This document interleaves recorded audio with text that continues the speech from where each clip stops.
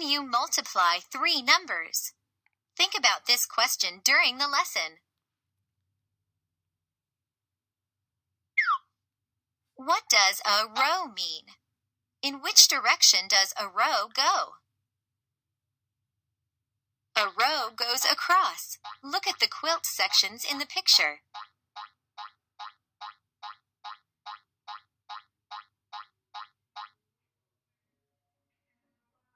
Many rows are there in each quilt section? There are two rows in each quilt section.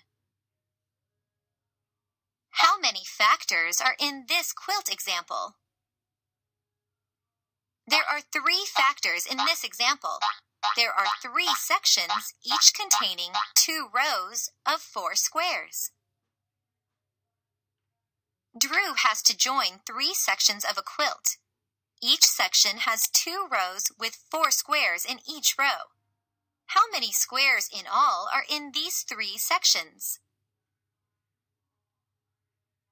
What are the three factors you should use? The three factors are 3, 2, and 4. You can multiply to find the total for an array. How do you think multiplying three factors will be different from multiplying two factors? When you multiply three factors, you will have to multiply twice. When you multiply two factors, you have to multiply only once. One way to solve this is to find 3 times 2 first. By grouping 3 times 2, you get 6 rows with 4 squares in each row. What is the answer? Select your answer.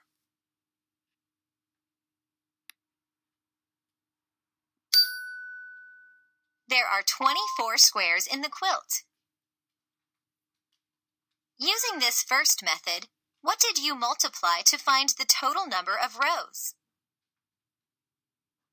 You multiply the two rows in each quilt section by three quilt pieces.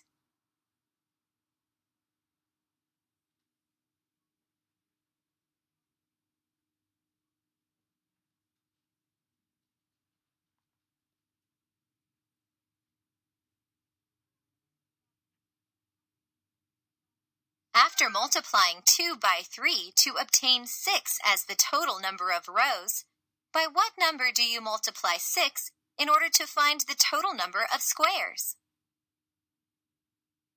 You multiply 6 rows by the 4 squares in each row. Another way to solve this is to compute 2 times 4 first. By grouping 2 times 4, you get 3 sections with 8 squares in each section. There are 24 squares in Drew's quilt pieces. Using this second method, what total did you find? When you multiply 2 times 4, you find the total number of squares in one quilt section. Then what total do you determine when you multiply 3 times 8? When you multiply 3 times 8, you determine the total number of squares in three quilt pieces. What property says that you can change the grouping of the factors and the product will be the same?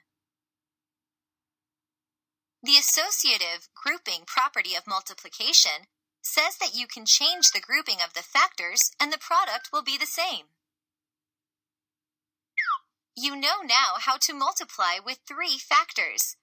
How would you multiply 5 times 6 times 7? Try it yourself.